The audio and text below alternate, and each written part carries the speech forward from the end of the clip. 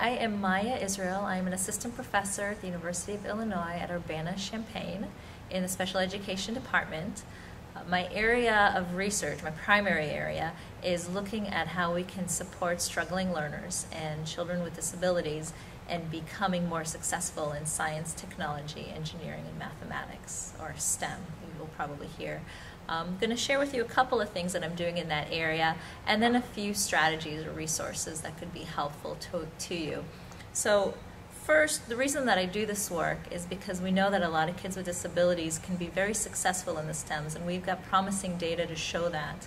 But we also know that typically they struggle and they struggle because of things such as difficulty with vocabulary and abstract concepts and very rigid interpretations of scientific method and lab reports that they have to complete as part of scientific inquiry.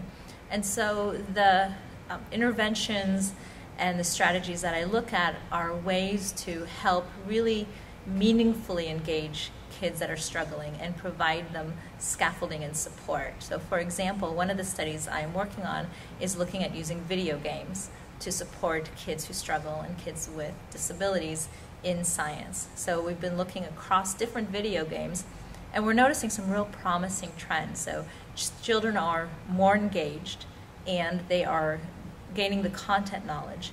But we're also learning that it's a little bit more complex than yes, it's good for kids because there are game to game variations and there are also differences that we're seeing between boys and girls, between kids with different reading abilities and also based on their background knowledge. And so the research I'm doing now is really trying to tease out what is it about the specific components of video games that are making kids more or less successful and what is it about kid qualities that we can support to help them be more successful. So when it comes to girls in gaming, for example, what we're seeing often is that they're presenting as novice gamers, and that is affecting both their attitudes about learning through games and also their performance. And so if we can think of ways to support girls in gaining more experiences in STEM-related games, they become more proficient and they start to enjoy them more. So it just shows that there is a lot more complexity to learning and gaming than what we previously thought. Another area that is of critical importance for kids who struggle and children with disabilities is thinking about how to enhance mathematics, understanding and really making connection to children's real world experiences. One of the ways that I'm doing this is by looking at computer programming for children. Um, as we know, there are a lot of career possibilities for children who can code, who can program as they leave high school and college settings. We also know that even for students who may not be necessarily on the calculus track, um, they can be very successful in computer programming. So providing experiences for learners to A, learn what computer programmers do, and also to learn how to computer program is very important. So I've got a couple initiatives where we're looking at computer programming even at the elementary school level. And so with those particular studies, um, it's really important to think about how are we integrating computer programming into the content areas because we don't we know that teachers do not have a lot of time to add anything else into the curriculum. And so that's an area of study of integrating computer programming into the content area. The other is to really think about how are we supporting kids with disabilities in programming and the kinds of strategies that we can provide them, the kind of peer supports we can provide them in order to do so. So that is an important thing. So as they move through elementary school, middle school, and high school, they have experiences that are successful and they can see this as a possible career possibility for them.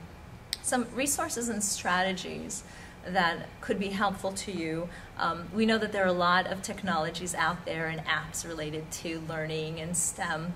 Um, it's important when you look at those technologies and those apps that you really think about them very critically in terms of are they going to support student learning? Are they tied to the content standards? Are they engaging? Because as we know, just like with curricula, technology is really only as good as how we use it for teaching and the pedagogy behind it. So it's important to have a very critical eye in terms of looking at those technologies. Another really important thing for kids who struggle is to think about inquiry in a very scaffolded way. So we have this continuum of this really wanting to completely engineer the program for kids so that they can be successful. And so we try to script everything out, and that is not helpful because we're not teaching children how to problem solve. On the other end of the continuum, we have complete open inquiry, which leaves kids often very frustrated. So looking at children's needs and thinking about how are we scaffolding those experiences for them so that they can experience success um, and some frustration and learning from that is important. And finally, we want to think about how do we integrate universal design for learning and explicit strategy instruction together within the STEM content areas. So we're proactively thinking about instruction that includes a wide range of learners, including students with disabilities.